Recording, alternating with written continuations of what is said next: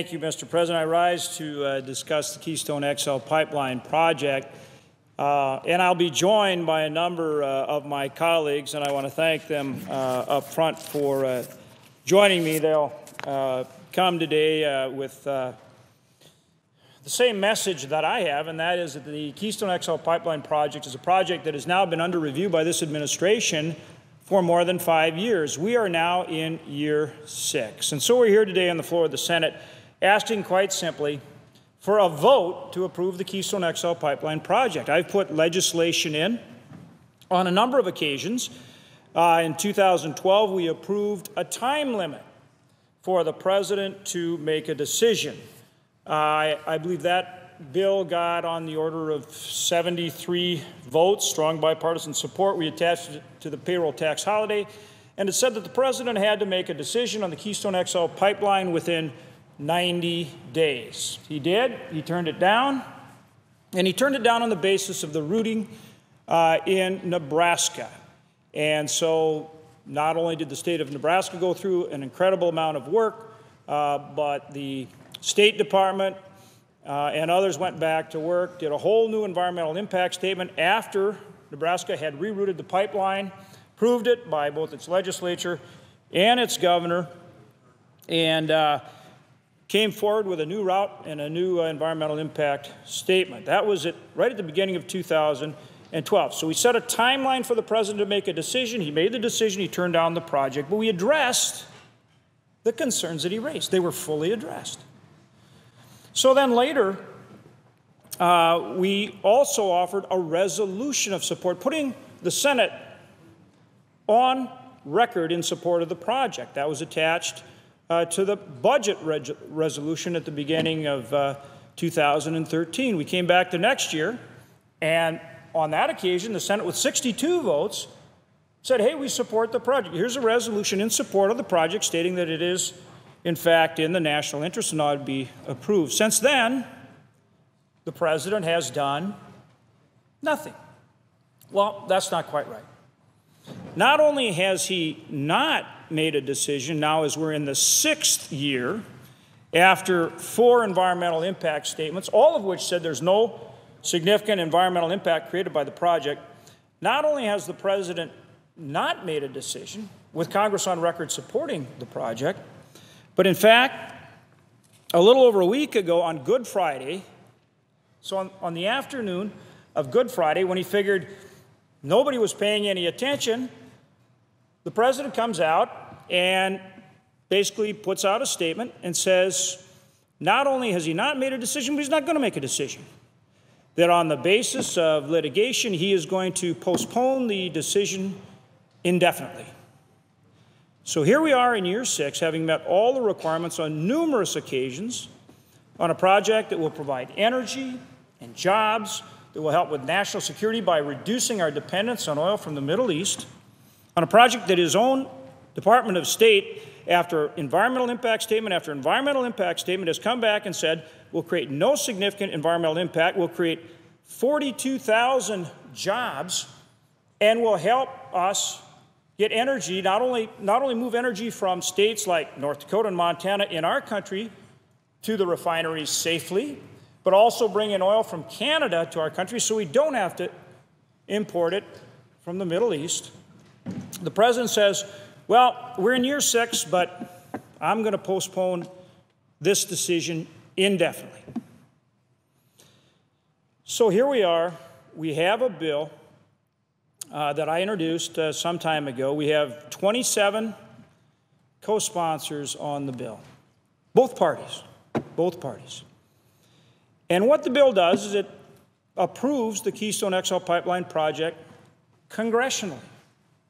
So instead of continuing to wait after six years, now the president's announcement that he's going to delay the decision indefinitely, passing this bill would approve the project congressionally.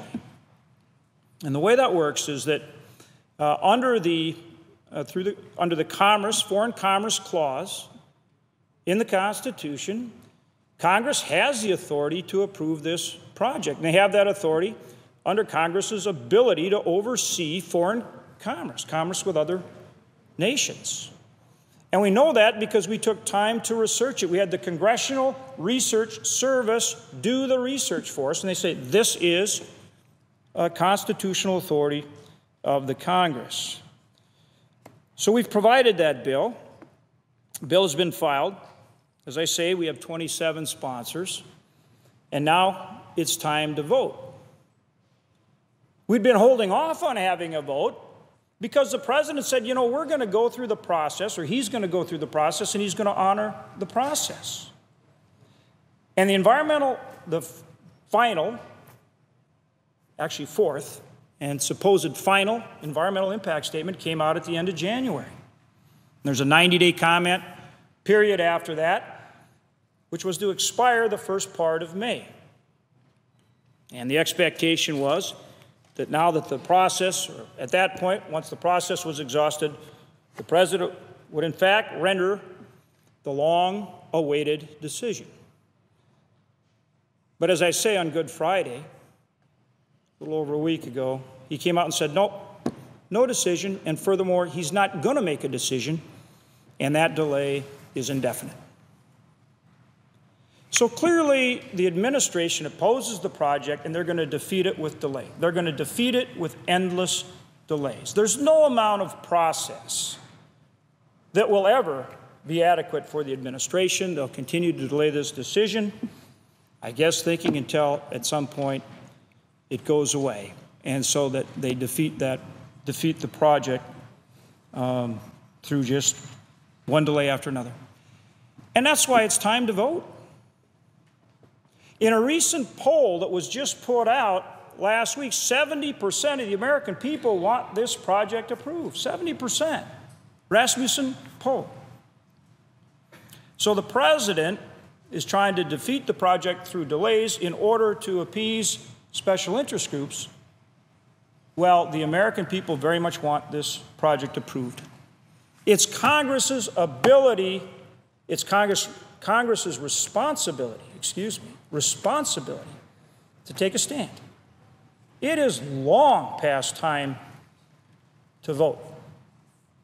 So, at this point, I am um, making some revisions to the legislation to update it for the final environmental impact statement. We're working to get every single Republican member of this body on board, which I believe we will do and as many Democrat members as possible. And we're pushing as hard as we can to get a vote. It's time for the Senate to stand up and exercise its responsibility and vote. Now, the Senate, the Senate Majority Leader is looking at moving to energy legislation, energy efficiency legislation. That's good. Let's, let's go there. Let's have the debate. Let's offer amendments. Let's have votes. Let's do the work of the people that this body is elected to do. And as part of that, we're going to require a vote on Keystone XL pipeline, a vote to approve it congressionally. And everybody can decide where they stand. But this is a project long overdue and it's time to vote. And it's time to vote on congressional approval. That's our message today, and that's going to continue to be our message as we work on energy legislation. I'm very